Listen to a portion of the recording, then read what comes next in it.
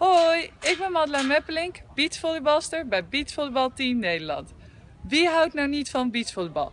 Zon, zee, strand, geweldig toch? Mijn liefde voor de sport is meegegeven door mijn vader. Met papa mee naar de sporthal. Wie kent het nou niet? See you on the beach!